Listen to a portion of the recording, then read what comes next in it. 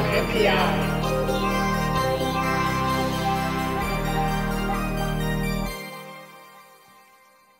Hi on NPI, brought to you by DigiKey and Adafruit. Every week, Lady Ada looks at the latest, newest. New York's hottest club is Omega. We've got chips. We've got chips that are dips. We've got chips and dip. Well, Omega they actually make temperature sensors. We've got hot chips. Yeah, We've got cold chips. they've got yeah. They're they're really good. They're I mean they're they're known for many things, but one of the things that Omega specifically is known for is their thermocouples. And uh, this week's INPI is their SA1 series of fast response thermocouples with adhesive banking. Um, what I like about this is it solves a problem that I've had many times, which is I'm measuring something with a thermocouple and I have to attach it to something, and it's like really hard to do that because um, thermocouples are made with two wires. Um, they're like high temperature wires, and they have a really cool property called the Seebeck effect, Whoa. where when you heat up the joint of where those wires touch, they create a very small millivolt differential signal that you can then measure. And that signal um, increases with temperature, so you can easily back correlate that to find out what the temperature is at the hot end of the thermocouple. Very handy. Um, so they tend to come with two wires uh, and sheathed in you know some fiberglass or some temperature resistant plastic. Um, and then you know this end is the temperature um, sorry the voltage measuring end so you connect this to your thermocouple sensor or your multimeter whatever. And the other end has this uh, this is like a, a zoom in version. It has a little welded ball tip at the end there. You see that on the right. So that's where the um, the temperature is measured um, but the problem is that if you think about it, like it's like this little point, right? So it's like very hard to attach to something. Um, you can get uh, temperature sensors that come with probes, and these are good for like these are actually um, often put in tanks and stuff to measure, um, you know, food or medicine or chemical processes. You want to make sure that everything's happening at the right temperature.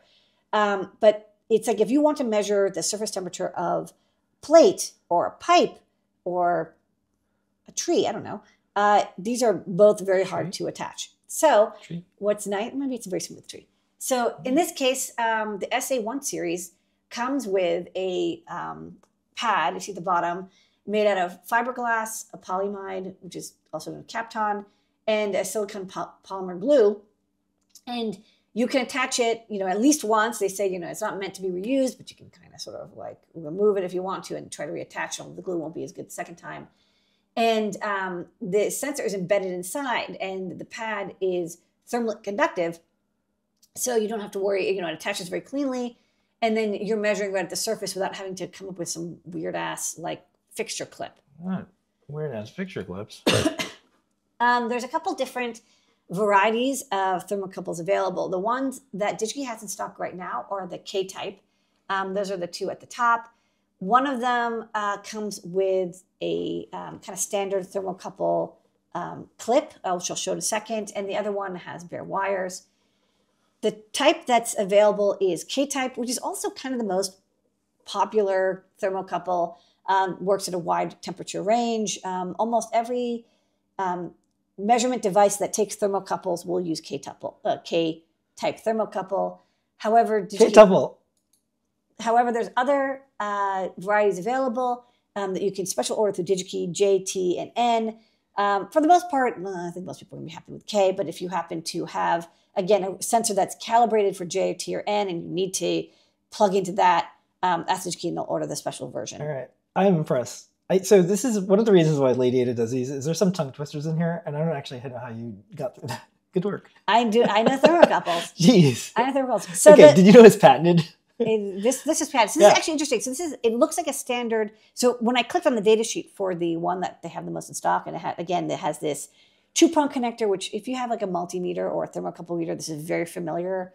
I don't know the name of this type of connector, but it's the thermocouple connector. Chat. You know what to do, chat. So um, this connector has uh, ferrite beads inside of it, so I guess that makes it a little bit more immune to EMI or interference. Hmm. Um, and yes, I guess this is patented. So that's what comes in one of the versions. And the other versions come with bare wire, and some of them come with this kind of um, cool spool connector. So it's like it's got the connector, and then a meter or two um, of wire is spooled around it, and so you don't have this like long ass wire that you can trip over or like accidentally choke yourself or something. Oh, yeah. Um, so check the part number on the right to tell you what the length of it is because some of them are one meter and some are two meter. All right. And then, of course, um, as we mentioned before, the thermocouple is made with two wires and a weld in the center. So to measure that millivolts, you need to have something that can convert that millivolt back to temperature. So don't forget, uh, you'll need something. This is the table. Now, if you have a very good ADC, you could just put this table into your code and do the conversion yourself. But there are also a lot of chips and sensors, uh, chips, uh, either um, like USB data loggers available from Omega or a DigiKey, just search for thermocouple and select a semiconductor. And there's tons of chips available from like a wide range of companies, from like analog to TI to Maxim to whatever. You can DIY slash roll your own K-type thermocouple reader, but you can't just plug this directly into your microcontroller. You do need something that takes that millivolt and converts it to this temperature according to the table. If you want uh, to get yourself in a sticky situation with a thermocouple, these are in stock right now at DigiKey. They've got lots. Um, Omega is known as the best quality thermocouples. They're kind of famous for it. So if you're doing temperature control, you want something good and reliable, something you can stick onto a surface, uh, check out the SA1 series from Omega and DigiKey. I'm sorry, everyone. We're in a pile of boxes because we moved, so I just had to pick up something. I'm sorry about that. It's okay. I think I just bumped the microphone. Okay. Okay.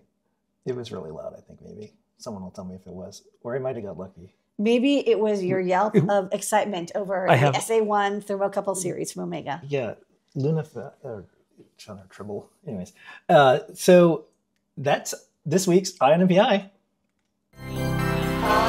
on